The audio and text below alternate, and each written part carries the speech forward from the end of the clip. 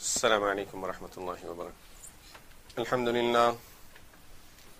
الحمد لله الذي هدى والصلاة والسلام على عباده الذين اصطفى خصوصا على سيد الرسل وخاتم الأنبياء وعلى آله وأصحابه الذين اجتبى. أما بعد فأعوذ بالله من الشيطان الرجيم. بسم الله الرحمن الرحيم.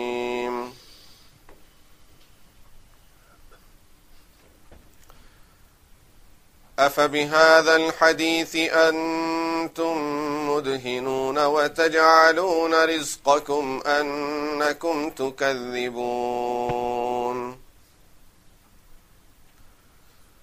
فلولا إذا بلغت الحلقوم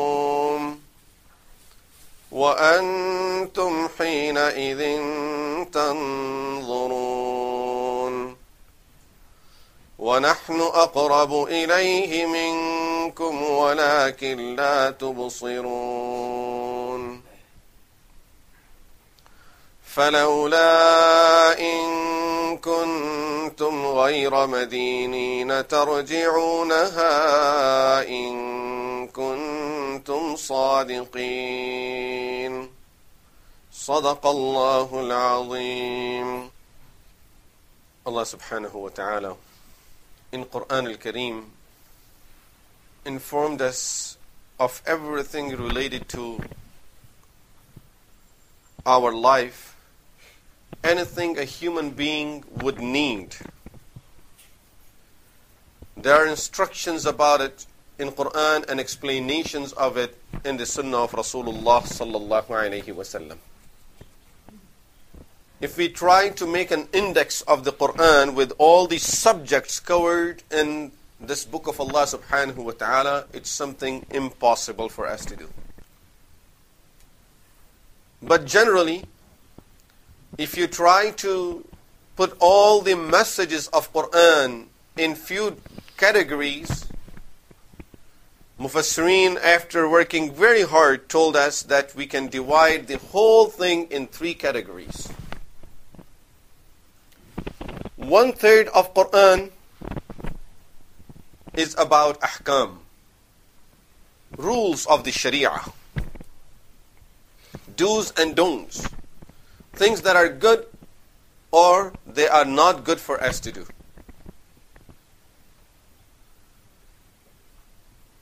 So one third of Quran is related to ahkam. Another third of Quran al-Kareem, the second third of it, the stories of the previous ummas and things that have happened in the past so that we can learn our lessons from it. And we learn about the rule of Allah subhanahu wa ta'ala, how He deals with human beings. That is called Sunnatullah. The rule of Allah in regarding dealings with human beings. If human beings would do these type of deeds, these type of actions, how they would be treated, what they would get in return. If someone would do this, what would he get for it? Good and bad both are mentioned in those stories of the previous nations. And of course, all of us know some of these stories from Quran al-Kareem, like the story of Sayyidina Musa alayhi salatu wasalam that is mentioned in many different places of Quran with Fir'aun, and then with Qarun, and then with Bani Israel. Then all the other Anbiya alayhim salatu wasalam, there are about 25 Anbiya that are mentioned in Quran al-Kareem. And there are some, men, uh, some uh, nations mentioned in Quran without relating their religion or a prophet that was at their time. It's only mentioning certain deeds of those nations so that and the reaction to those deeds so that we can get our lessons from it. So another third of Quran is the stories of the previous nations. The third portion of Quran is about Akhirah. In which Allah subhanahu wa ta'ala informs us of what will happen from the time that we will leave this world and then of course, no one is coming back. So, once we leave, where are we heading to? What we would be doing there? What we have to go through? Every situation, every step a person would take from here until his final destination, and then what will happen in that final destination, what is it that we would get over there, all of those details are mentioned there. So past, and then present, ahkam for us, and then our future. All three are mentioned in Quran, and you can say almost each of them takes one third of Quran. Past has one third, and then present of ahkam is one third, and future is almost one third of Quran.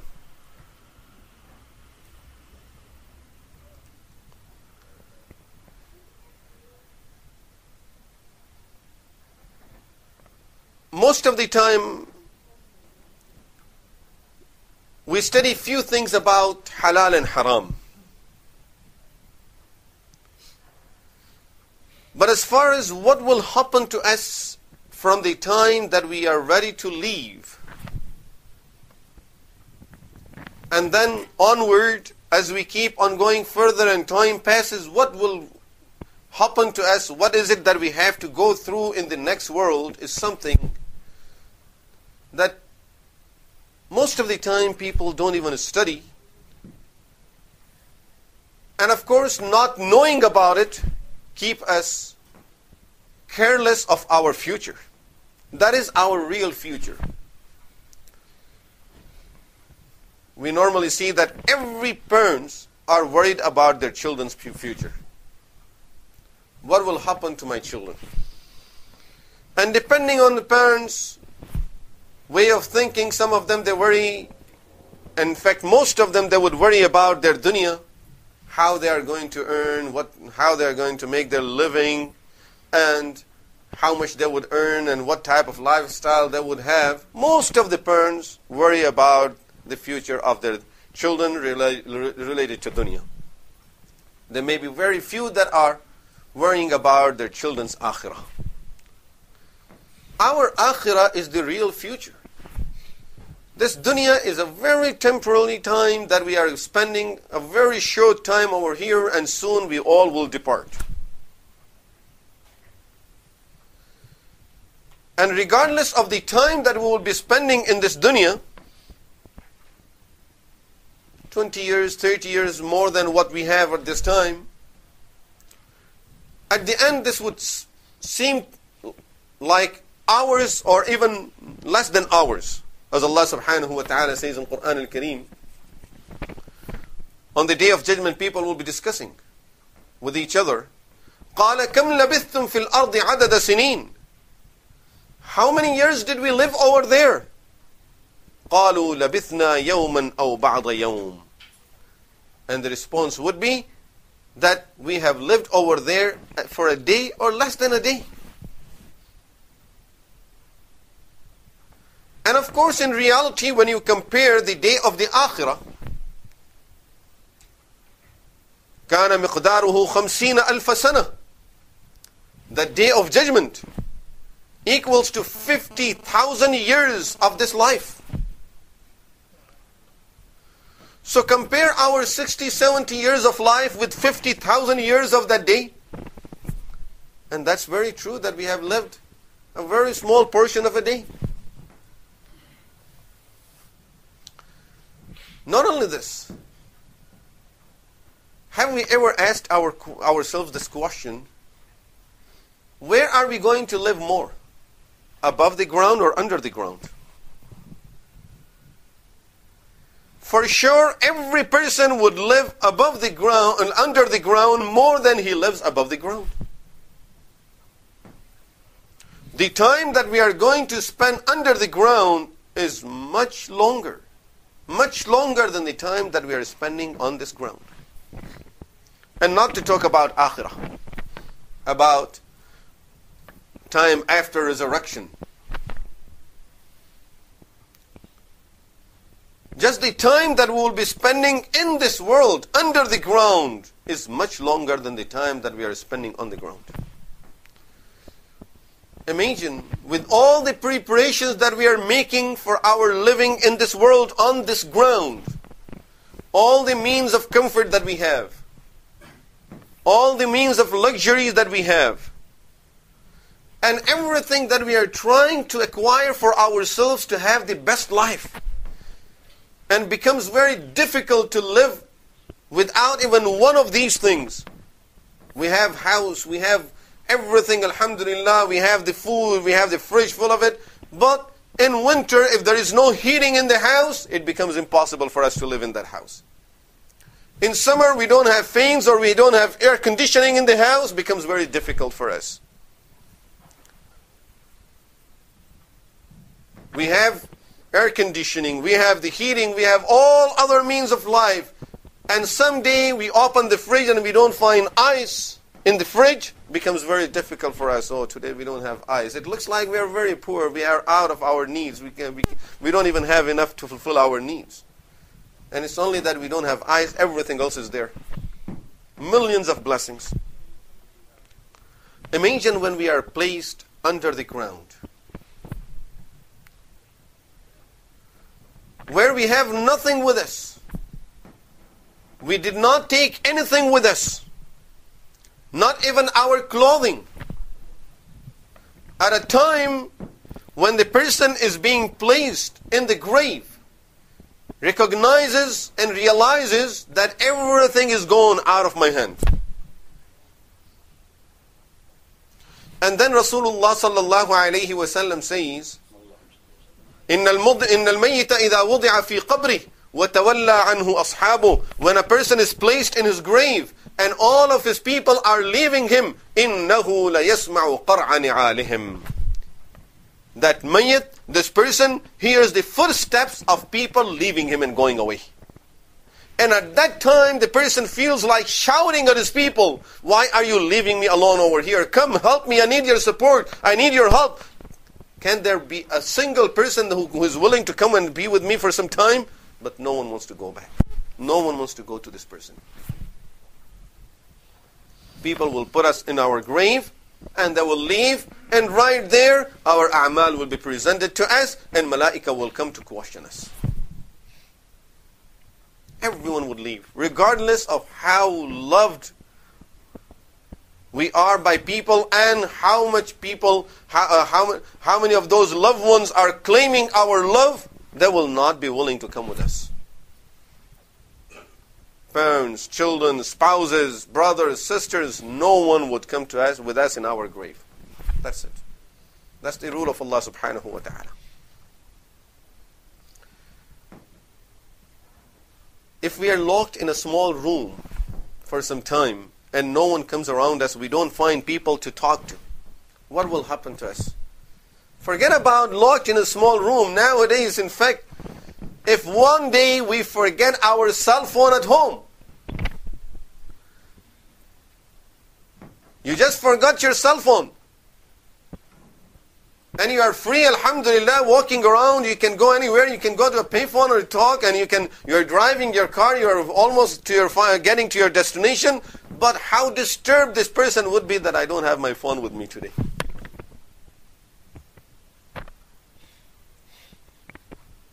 Older people will have only one worry That I can't call any youngsters will have two worries. That I can't, I'm not even getting the text messages.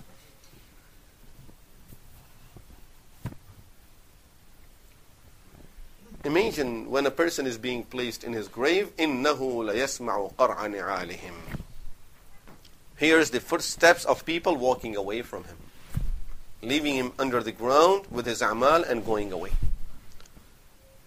This is why Allah subhanahu wa ta'ala tells us in Quran that we need to prepare ourselves for that day. فَلَوْلَا إِذَا بَلَغَتِ الْحُلْقُومِ What will happen the time when your ruh is in your throat? Is going out. Is still the person is alive. The ruh is on the throat. And the person feels it. My ruh is going out. وَأَنْتُمْ حِينَئِذٍ تَنْظُرُونَ And at this time, this person will be looking at his ruh leaving the body. And everyone else is watching this person dying. no one can save him from dying. Parents are there, they can't save him. Children are there with their parents, they can't save him. وَأَنْتُمْ حِينَئِذٍ تَنْظُرُونَ Everyone is watching this person dying, and no one can help this person. That's it. The time came, no one can do anything for this person. And now this person opens his eyes. The ruh is leaving the body. He sees the children are standing there. Wife is standing there. Parents are there. Wants to talk to them. The tongue does not have the power to move and say anything. That power is gone. He's looking at them. Tears are coming of this person's eyes. That I want to say one last word to my children. One last word to my wife. But the time is gone. Still the person is alive. He can't say his word. He's just looking. The person is just looking. The eyes are open.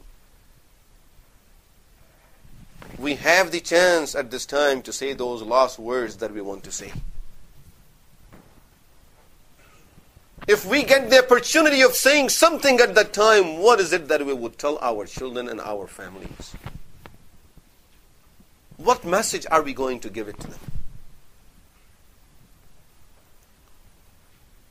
Of course, at this time, the person sees the malaika. He sees the angels. He knows he's departing. Now he's worried is about his akhirah. He sees that reality and wants to say something that please, I'm going towards a lot of hardships over there. I see my deeds with me. Please do something for me to save me from that adhab. Allah subhanahu wa ta'ala tells us in Quran at that moment, the person will be requesting Allah subhanahu wa ta'ala, وَأَنفِقُوا مِمَّا رَزَقْنَاكُمْ مِنْ قَبْلِ أَن يَأْتِيَ أَحَدَكُمُ الْمَوْتِ Spend out of what you have what we have given you, before the death would come, and then at that time the person will say, فَيَقُولَ رَبِّي لَوْلَا أَخَّرْتَنِي إِلَىٰ أَجَلٍ قَرِيبٍ فَأَصَّدَّقْ وَأَكُمْ مِنَ الصَّالِحِينَ He will say, Ya Allah, why don't you give me a little time so I can give some charity and do some good deeds? الصدق وأكن من الصالحين. Two things this person wants to do now. Rabbul Alameen is telling us the fact of our life, something that we all will go through. If we really would be saying this at the time, and we know we all would be saying it for sure, then why not do it at this time? That let us do whatever we can for ourselves so that we can prepare for that day when we are departing this world. فَصَدَّقْ Give some sadaqah. And be of salihin. Be of good people. Do the good deeds. The time when the person is dying. When the malaika would approach this person. When the ruh is departing the body. At this time, where this person was heading to? Where was he going to? What was his plan? Today I won't be able to perform Zuhr and Asr prayer because I have a busy schedule. I couldn't get up for Salat al-Fajr because I was very tired last night. He has a lot of papers in his pocket. He has money in his pocket. Where is it from? Halal or haram? He has a lot of cards in his pocket. All the money that is in that account, is it from halal or haram? At this time, he was heading to where? Some time ago. It was in our own town. A young person. I never knew that family. But I just read it in the news.